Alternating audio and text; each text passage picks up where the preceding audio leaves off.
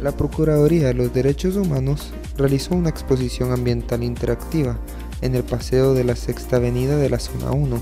La exposición contó con la participación de entes preocupados por la contaminación.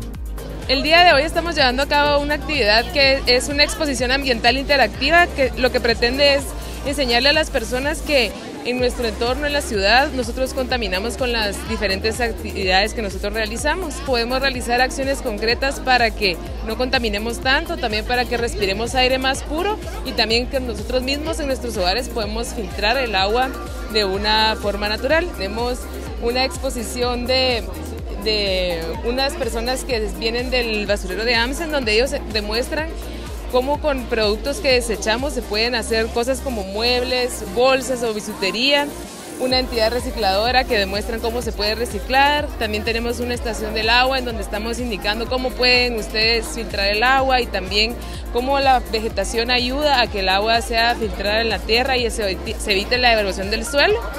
Y también plantas que podemos poner en nuestros hogares para que el aire esté más purificado y entonces pues sea menor la contaminación, el aire contaminado que respiremos. También está la Municipalidad de Guatemala realizando algunos juegos interactivos eh, relacionados con el ambiente.